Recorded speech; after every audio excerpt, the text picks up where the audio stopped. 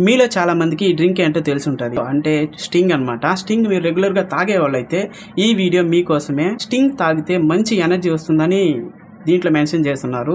Sting energy అని mention చేస్తున్నారు. అంటే దీన్ని తాగిన వెంటనే మనకు మంచి ఎనర్జీ వస్తుందని చెప్తున్నారు. కానీ ఇక్కడ మీరు గమనించాల్సిన విషయం ఏంటంటే హై క్యాఫీన్ అని మెన్షన్ చేస్తున్నారు. ఈ కంపెనీ వాళ్ళే మెన్షన్ చేస్తున్నారు. క్యాఫీన్ అంటే కాఫీలో కానీ ఇలాంటి కూల్ డ్రింక్స్లో రెగ్యులర్గా వాడుతుంటారు.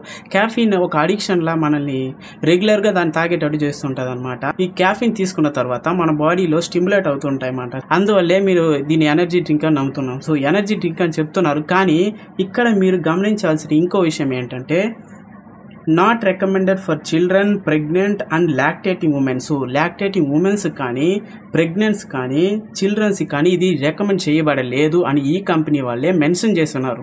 And finally consume not more than five hundred ML per day so అర లీటర్ అంటే ఫైవ్ హండ్రెడ్ ఎంఎల్కి పైన ఎక్కువ తాగకండి అని వాళ్ళే మెన్షన్ చేస్తున్నారు. ఈవెన్ మీరు యంగ్ అడల్ట్ అయినా కూడా ఇది తాగకూడదు. అంటే ఫైవ్ హండ్రెడ్ ఎంఎల్కి పైన తాగకూడదు అని వాళ్ళే మెన్షన్ చేస్తున్నారు. ఎలాగైనా చావబోతున్నాం కాబట్టి ఎలా చేస్తే ఏంటని తాగే వాళ్ళు చాలా మంది ఉంటారు. స్మోకింగ్ కాజెస్ క్యాన్సర్ అంటారు.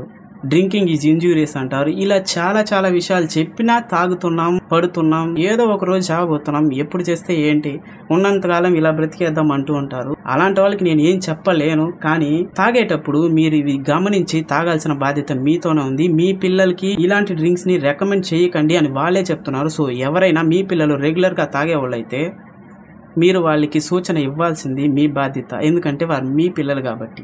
సో ఇది ఒక అవేర్నెస్ వీడియో మాత్రమే. That's it for today guys రేపు వేరే ఒక వీడియోతో మీ ముందుకు వస్తాను. Until then this is Praveen Kumar signing off here bye